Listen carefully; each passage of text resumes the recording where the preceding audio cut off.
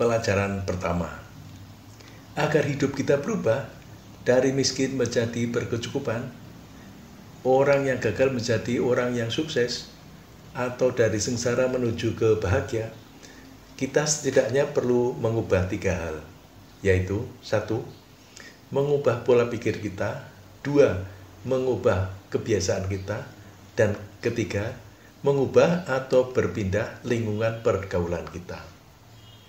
Bila kita berpikir dan berkata kepada diri sendiri bahwa kita tidak bisa mencapai atau melakukan sesuatu, maka kita memang tidak akan bisa mencapai atau melakukan sesuatu tersebut. Tetapi, kalau kita berkata bahwa kita bisa, insya Allah akan ada jalan untuk mencapainya.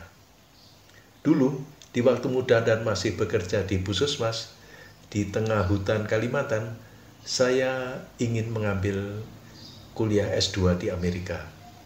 Padahal waktu itu bahasa Inggris masih parah, tidak punya uang dan koneksi. Tapi alhamdulillah, dalam waktu beberapa tahun saya sudah ada di Amerika. Perubahan kedua yang perlu dilakukan adalah mengubah kebiasaan kita. Karena ingin kuliah di Amerika, salah satu kebiasaan yang saya lakukan adalah belajar bahasa Inggris. Waktu itu saya tinggal di sebuah kecamatan yang jauhnya lebih dari 100 km dari ibu kota kabupaten. Belum ada listrik. Yang saya lakukan adalah membeli buku pelajaran bahasa Inggris ke Pontianak yang jauhnya lebih dari 200 km dan membeli radio agar bisa mendengarkan siaran radio berbahasa Inggris. Selama di Puskesmas, saya belajar bahasa Inggris secara mandiri Perubahan ketiga yang perlu kita lakukan adalah mengubah atau berpindah lingkungan. Agar lebih mudah mendapat kesempatan belajar ke Amerika, saya pindah ke Jakarta. Modalnya hanya nekat. Alhamdulillah, akhirnya cita-cita saya belajar ke Amerika bisa tercapai. Pelajaran kedua, untuk mencapai sesuatu, jangan hanya mengandalkan diri sendiri.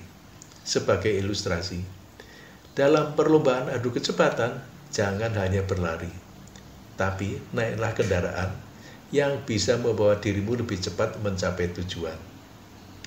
Kita perlu memanfaatkan dalam arti cara dalam arti yang baik dan cara yang baik.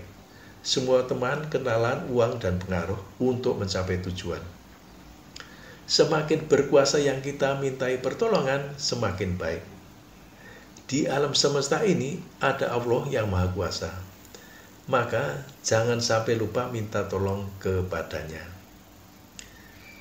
Dulu waktu kecil kita diminta untuk membuat cita-cita setinggi langit. Tapi akhir-akhir ini banyak anak muda yang tidak berani membuat cita-cita atau mempunyai keinginan yang tinggi. Mereka hanya melihat kepada diri sendiri, kepada kemampuan sendiri. Mereka lupa bahwa ada Allah yang Maha Kuasa yang bisa menolong, yang bisa dimintai tolong agar keinginan atau cita-cita kita itu tercapai. Pelajaran ketiga, Tuhan itu maha pengasih lagi maha penyayang, tapi juga maha kerasiknya. Nikmat dari Tuhan itu tidak ternilai harganya, mulai dari udara yang tidak perlu kita beli hingga ginjal yang berfungsi menyaring darah kita tanpa minta bayaran. Saat ini, sekali cuci darah, biaya yang harus dikeluarkan setidaknya Rp600.000. Kalau dari kecil hingga mati kita harus membayar biaya untuk mencuci darah kita, berapa banyak uang yang harus dikeluarkan? Tapi yang sering atau jarang diajarkan adalah Tuhan itu juga maha keras siksanya. Kita bisa lihat atau baca di media sosial ada orang yang terlindas kereta api, jatuh ke jurang, atau diterkam harimau.